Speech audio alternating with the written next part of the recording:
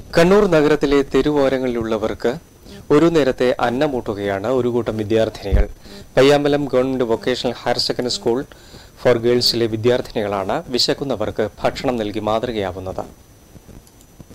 Payyambalam government vocational higher secondary school for ഗേൾസിലെ plus two വിദ്യാർത്ഥിനികളായ N S S യൂണിറ്റിലെ പത്ത് കുട്ടികളാണ് കണ്ണൂർ നഗരത്തിലെ അശരണരായവർക്ക് കൈത്താങ്ങാവുന്നത്.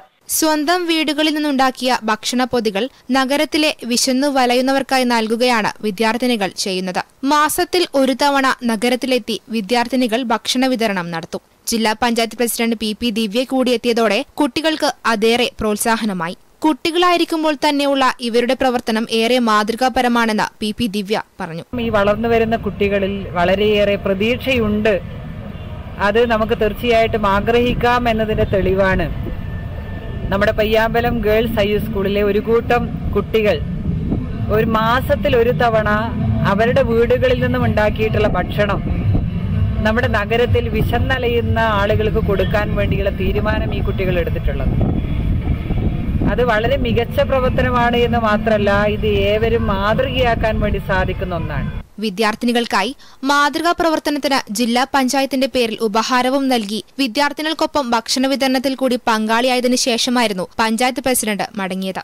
വർഷങ്ങളായി തെരുവോരങ്ങളിൽ ഭക്ഷണ വിതരണം ചെയ്യുന്ന മനുഷ്യസ്നേഹികളായ രോഹിത് രവീന്ദ്രനും സുനീഷ് കെയും സിവിൽ പോലീസ് ഓഫീസർ രാജേഷ് എയും കുട്ടികൾക്ക് വഴികാട്ടികളായിട്ടുണ്ട്.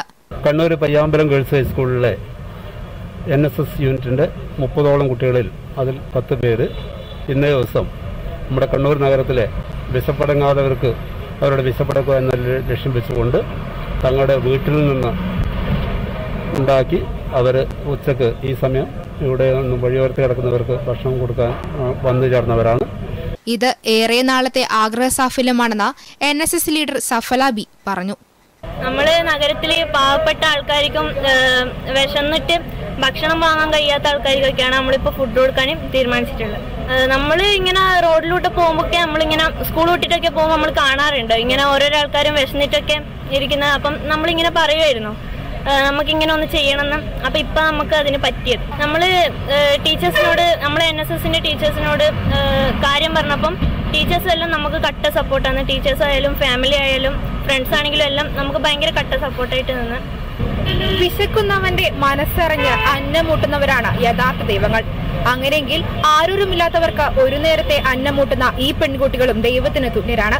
ക്യാമറമാൻ ബിജു അഴീക്കോടിനൊപ്പം ഷാരിമരാജൻ കണ്ണൂർ റൂഷൻ